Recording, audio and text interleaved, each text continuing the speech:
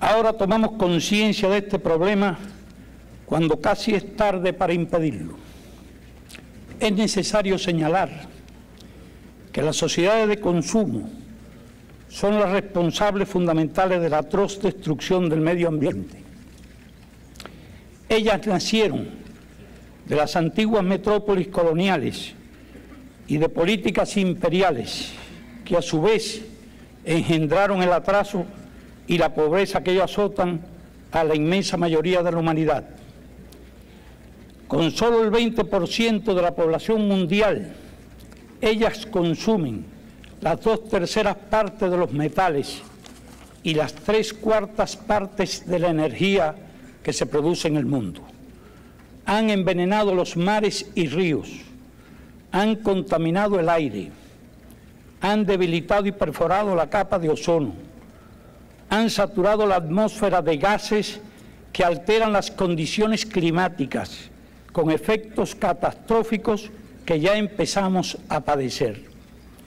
Los bosques desaparecen, los desiertos se extienden, miles de millones de toneladas de tierra fértil van a parar cada año al mar, numerosas especies se extinguen, la presión poblacional y la pobreza conducen a esfuerzos desesperados para sobrevivir aún a costa de la naturaleza.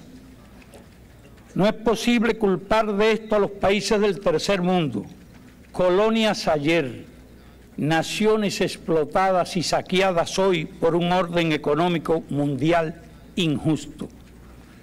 La solución no puede ser impedir el desarrollo a los que más lo necesitan lo real es que todo lo que contribuya hoy al subdesarrollo y la pobreza constituye una violación flagrante de la ecología. Decenas de millones de hombres, mujeres y niños mueren cada año en el tercer mundo a consecuencia de esto, más que en cada una de las dos guerras mundiales. El intercambio desigual, el proteccionismo, y la deuda externa agreden la ecología y propician la destrucción del medio ambiente. Si se quiere salvar a la humanidad de esa autodestrucción, hay que distribuir mejor las riquezas y las tecnologías disponibles en el planeta. Menos lujo y menos despilfarro en unos pocos países para que haya menos pobreza y menos hambre en gran parte de la tierra. No más transferencias al tercer mundo de estilos de vida y hábitos de consumo que arruinan el medio ambiente.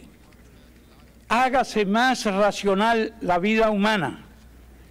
Aplíquese un orden económico internacional justo.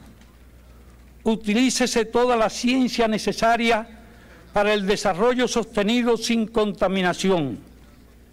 Páguese la deuda ecológica y no la deuda externa. Desaparezca el hambre y no el hombre. Cuando las supuestas amenazas del comunismo han desaparecido y no quedan ya pretextos para guerras frías, carreras armamentistas y gastos militares, ¿qué es lo que impide dedicar de inmediato esos recursos a promover el desarrollo del tercer mundo y combatir la amenaza de destrucción ecológica del planeta? Cesen los egoísmos, cesen los hegemonismos, cesen la insensibilidad, la irresponsabilidad y el engaño. Mañana será demasiado tarde para hacer lo que debimos haber hecho hace mucho tiempo. Gracias.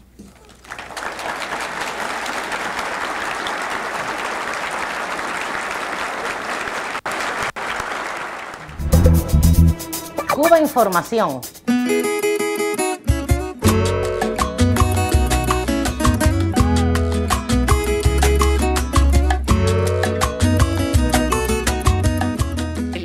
Señalando ya en el 92 y diciendo mañana será demasiado tarde, Es lo que vienen planteando desde numerosos ámbitos.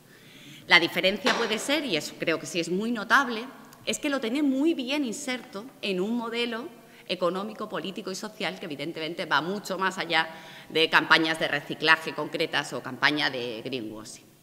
Pero desde luego la clarividencia de lo que estaba diciendo, recuerdo 1992, cuando los líderes mundiales no solían estar hablando de esto o estaban hablando en una proporción muy pequeña de lavado de imagen, es brutal.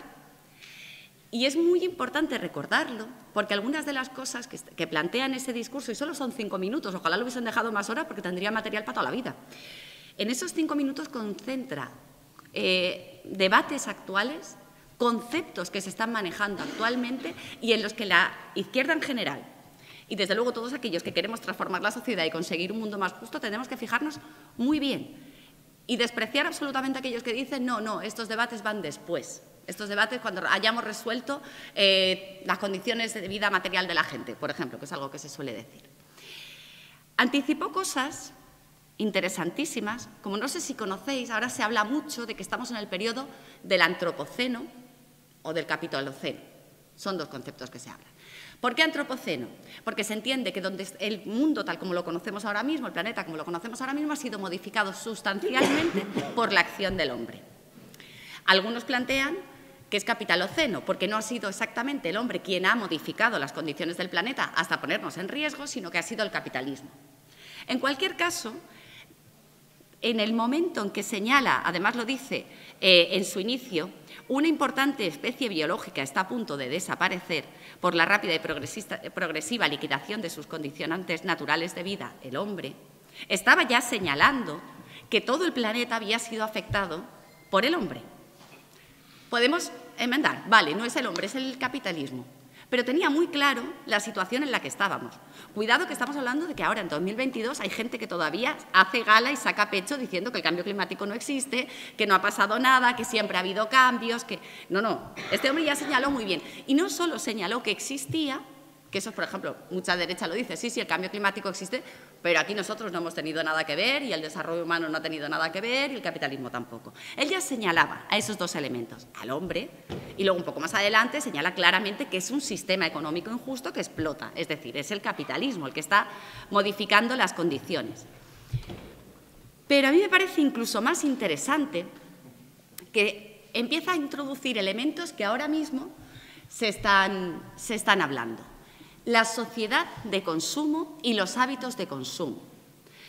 En una sociedad como estamos ahora mismo, 2022, que sale el ministro Garzón y dice que hay que comer menos carne porque si no, no es sostenible eh, la alimentación en todo el planeta y la gente se tira a poner en Twitter fotos de comiéndose chuletones y diciendo a mí nadie, ningún comunista me prohibirá decir lo que tengo que comer o lo que no tengo que comer. Él ya señalaba, y había algo muy interesante, no señala solo a los ricos, podríamos decir, sino a las sociedades ricas. Cuando dice, y creo que muy acertadamente, no podemos importar esos hábitos de consumo de los, países del primer mundo, no lo dice porque sea una persona sociópata que no quiera que todo el mundo disfrute del mismo nivel de vida, no es eso. Es que tenía muy claro, de hecho queda muy claro, muy recogido en sus testimonios, que el nivel de vida de los países del genérico norte no es extrapolable a todos los países del mundo sin que pete el sistema, pete el planeta. No es posible. No podemos mm, comer, vestir, transportarnos, consumir energía, todos los países del mundo al mismo nivel que tenemos en Europa. Siempre se podrá decir, y es lógico, es que no todos en Europa consumimos lo mismo. Hay gente que no llega a fin de mes. Seguro, seguro. Y no estamos hablando de eso. Estamos hablando de sociedades. El consumo energético de, de cualquier sociedad europea está muy por encima del consumo energético de cualquier país del genérico sur podríamos decir. Y eso ya se señala, y se señala cuando se dice no se pueden importar estos ámbitos de consumo. Decir que no se pueden importar esos hábitos de consumo, hablar claramente de austeridad, diciendo que hay que vivir más racionalmente, es lo que ahora mismo se está debatiendo cuando la gente plantea, yo estoy entre ellas, planteamos que tiene que haber un decrecimiento basado en la redistribución de la riqueza, basado en la redistribución laboral, basado en un montón de cosas, pero que evidentemente No se puede mantener el nivel de vida del, genérico norte a costa permanentemente del genérico sur. Ojo, señala algo que se está hablando ahora mismo, yo supongo que lo habréis escuchado mucho. Eh, tenemos una crisis en los combustibles, empieza a agotarse el petróleo, empieza a agotarse otras fuentes de combustibles fósiles, o no se agotan, pero cada vez cuesta más energía y más dinero sacarlo. Y la segunda parte, ¿cómo vamos a hacer una transición energética tal cual el sistema lo tenemos si no hay minerales suficientes? que eso también es una realidad. No podemos hacer toda la, podemos volcar todo el consumo de energía que hay ahora mismo a energías renovables. No hay minerales en la tierra suficientes. ¿Dónde los hay? En los países del genérico sur. Y eso es algo de lo que se señala. No lo llama así Fidel, pero es lo que ahora llamamos colonialismo extractivo que es yo quiero tener derecho a cambiar todos los años de móvil o quiero comprarme un coche eléctrico o quiero y siempre, siempre, siempre es a costa de otros países a los que vamos, les explotamos sus reservas eh, minerales, no les dejamos desarrollarnos y nosotros llevamos un nivel de consumo completamente inasumible para el planeta. Esto ya se señalaba cuando decía que dos tercios de los minerales eran arrancados y expropiados para llevárselos a países del genérico, es lo que llamamos, del genérico norte, perdón, es lo que llamamos el colonialismo extractivo.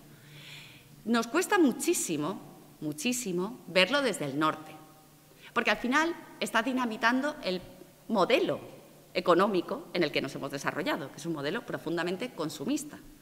Y nos cuesta mucho porque explicar que ese modelo no se puede sostener en el tiempo y que es profundamente injusto y que las organizaciones que tenemos vocación internacionalista no podemos permitir que siga adelante un modelo en base a la explotación de otros países, es difícil. Es difícil explicarlo aquí, quiero decir, explicarlo allí es facilísimo porque se está tratando de sus propios, países. Pero creo que esa clarividencia que tuvo, empezar a sacar esos discursos, empezar a hablar de esto, creo que es fundamental. Si lo que queremos es de verdad dar una respuesta a lo que está ocurriendo ahora mismo. De lo que habla ni más ni menos es de que la lucha contra el cambio climático es la primera lucha en la que se enfrenta, a la que se enfrenta de verdad de manera muy dura la humanidad. Y uno podría decir, bueno, estaba en la cumbre de Río de Janeiro, el hombre era la cumbre de medio ambiente, ¿qué iba a decir? Tenía que ir con ese discurso. Pero en realidad, cuando analizamos un poco más adelante en su vida, encontramos unas reflexiones que hizo en 2009, tenía ya 83 años, el hombre había podido madurar después desde el 92 un montón, y dice una frase que probablemente daría sarpullidos hoy en día a algunos, pero que me parece también profundamente acertada. Ya no es cuestión de patria o muerte, Realmente y sin exageración, el cambio climático es una cuestión de vida o muerte para la especie humana. En ningún otro momento de la historia humana se presentó un peligro de tal magnitud. Probablemente sea de las frases más contundentes que, le he leído, y tiene mucha, Fidel, pero es que realmente estaba dando en el corazón del debate que tenemos ahora mismo que enfrentar y que probablemente gran parte de las fuerzas lo estamos enfrentando y yo creo que se está trabajando bien, pero que hay que terminar de afinarlo. La histórica contradicción capital-trabajo sigue rigiendo, pero tenemos que tener muy claro que el marco general es capital-vida. ¿Por qué? Porque capital-trabajo, si no, al final lo estamos discutiendo algo muy concreto y estamos dejando fuera de dónde extraemos los recursos naturales necesarios para ese trabajo y a quiénes estamos explotando para poder hacer ese trabajo. Sobre todo la parte de trabajo invisible, de trabajo no remunerado, es decir, el 50% de la población, que son las mujeres. Yo creo que eso no se introdujo en los discursos que hacía, pero sí sobrevuela todo. Cuando tú trasladas el, el debate entre capital-trabajo y lo trasladas a capital-vida, estás incorporando esos dos elementos que suelen quedar fuera de los análisis que se hacen en general. Es cuánto necesitamos de explotar a la naturaleza y cuánto necesitamos explotar en trabajos no remunerados, es decir, al 50% de la población, a las mujeres, para poder mantener la rueda. Yo creo que este debe ser como el, el gran elemento que haga girar todo el debate que tenemos que enfrentar. Si en el 92 decía mañana será demasiado tarde, imaginaros en qué punto estamos ahora mismo. Además, no solo es que estamos en un punto mucho peor, es decir, ahora mismo hay países en colapso, literal. Sri Lanka está en un colapso ahora mismo. Sin medicinas, sin combustibles, sin alimentos. A todos los efectos un Estado fallido. Si no puedes garantizar ninguna de las tres cosas, es un Estado fallido. No va a ser el primero. La FAO ya ha alertado que la pandemia, la crisis climática y la guerra de Ucrania deja en situación de hambruna literal y grave, sobre todo a un montón de países de la zona de Oriente Medio. Eso es una realidad. ¿El qué? No, no son las sanciones. No, no, no. Por ejemplo, el, problema que está habiendo en Libia, Yemen y demás es que se abastecían básicamente de, los cereales que venían de la zona de Ucrania, Rusia. Eh, eso ahora mismo está mm, en stand-by, pero además sus fuentes alternativas eran países que han tenido sequías muy fuertes el año pasado, con lo cual las producciones han caído y no tienen acceso. Mercados tensionados, absolutamente tensionados, los combustibles por las nubes, eso ya está pasando aquí. El problema del sector agrario español ahora mismo es el aumento increíble de los, de los costes de los insumos que no permite que se, pueda mantener la producción al nivel. De hecho, hay un informe muy interesante de COA, que es la central eh, agraria española más progresista, podríamos decir, en los que ya cuantifican cuánto están perdiendo por cambio climático. Ya lo tienen cuantificado. Y cuánto van a descender las producciones y cuánto vamos a perder en cada uno de los ámbitos. Es decir, esto ya existe. ¿Qué salidas tenemos? Lo que está ocurriendo en Sri Lanka, por ejemplo, o lo que ha ocurrido en Madagascar. La salida por el capital. A mí me gusta más llamarlo ecofascismo, porque al final acabamos ahí. Son estados fallidos, no son capaces de dar respuesta, lo han fiado todo al mercado, el mercado regulará. Si tú tienes dinero te podrás ir del país o comprar lo que sea, pero no hay nada que planifique. Cada uno podrá llegar o no podrá llegar a adquirir lo que sea básico para su supervivencia si tiene el capital suficiente. ¿Qué ocurrirá? ¿Qué, significa esa salida? Que cada vez más vamos a ir exprimiendo a los países del genérico sur para que se mantenga mínimamente la vida en los países del genérico norte. En ese genérico norte, es decir, nosotros, por ejemplo, las capas más populares y más vulnerables también caerán, caerán al otro lado. La otra alternativa es qué hacemos para planificarlo, que era lo que planteaba básicamente Fidel en su legado tanto en la, intervención que hace ante Río de Janeiro como en las reflexiones que hace después. Redistribuir, cambiar el modelo y cambiar los hábitos de consumo. Porque hablar solo de cambio de modelo, si no estamos dispuestos a hablar de cambio de hábitos de consumo, no estamos hablando de nada. Cuando nosotros decimos, no, cambies el sistema agroalimentario para que sea más sostenible, para que emita menos y, por otra parte, hagamos una huella que permita disminuir y garantizar la alimentación a toda la población. Estamos hablando necesariamente de que habrá que consumir menos carne. Porque si tienes que dedicar más superficie agraria útil a cereales para alimentación humana, no puedes estar dedicando lo mismo a la producción forrajera para ganado, por ejemplo. Cuando hablamos de transporte, de cambiar los medios de transporte, significa que no vamos a poder tener un coche individual para cada uno en todos los habitantes del planeta. No hay minerales para hacer un coche eléctrico para cada habitante del planeta. No lo hay. No hay combustible para garantizar que todo el mundo se va a mover en su coche individual. No lo hay. ¿Cuál es la alternativa? La ecofascista, que el que se lo pueda pagar, se lo pague y el resto se muera. O la salida planificada. Es vamos a demandar transportes colectivos, disminuyamos los desplazamientos, garanticemos que todo lo tenemos más cerca para no tener que coger el coche para cada cosa. Las ciudades europeas, por ejemplo, son profundamente insostenibles. Hay que coger el coche para casi cualquier cosa. Eso no es sostenible en el tiempo. Tenemos que redistribuir y planificar de otra manera. Y puede parecernos que es algo como que ya si eso lo haremos cuando, cuando hayamos hecho la revolución. Pero volviendo al ejemplo de Sri Lanka, si lo postergamos y decidimos que esto ya lo haremos, nos podremos encontrar con que tenemos una suerte de periodo especial. Porque al final me recuerda mucho el proceso del periodo especial en Cuba a lo que está sucediendo ahora mismo en países que les está afectando el cambio climático de manera contundente, como puede ser Sri Lanka. Países que se quedan sin combustible, países que se quedan sin eh, una agricultura porque han venido plagas, han venido eh, sequías. ¿Y cuál es la diferencia? Que si tú tienes una revolución cubana detrás, tú puedes enfrentar un periodo especial. Pero, como se ha visto en otros países, y muy, relativamente cercanos y cercanos en el tiempo, si no lo tienes, eso es un estado fallido, en el que la gente se muere de hambre. Las imágenes de Sri Lanka son brutales. ¿Qué aprendizajes tenemos que hacer aquí? Pues desde luego aprender de los sistemas que funcionan y los sistemas que no funcionan. La transición, por ejemplo, que hizo Cuba, de la, es que esto me gusta mucho contarlo porque es como muy, ejemplarizante, que hizo de un sistema altamente petrodependiente de agricultura a transitar hacia un sistema agroecológico en gran parte y, de hecho, en general, con una disminución del consumo de fertilizantes e insumos derivados del petróleo muy fuerte, les permitió poder sacar adelante producciones agroganaderas sin generarse una deuda inmensa ni en tecnología ni en consumos que no podían asumir. ¿Qué ha ocurrido en otros países? O sea, bueno, segunda parte, y tenían una capacitación académica tremenda que permitía que tuvieran la, posibilidad de proyectarlo en el tiempo y saber en cuánto hacerlo. ¿Qué ha ocurrido en Sri Lanka? Lo intentaron hacer hace un año. Pero ¿qué ocurrió? Lo hicieron de golpe y la producción no ha, no ha salido adelante. Es imposible pasar de una producción normal al uso y convencional a una agroecológica en un año y que los suelos respondan, porque son suelos agotados. ¿Qué tendríamos que estar haciendo aquí?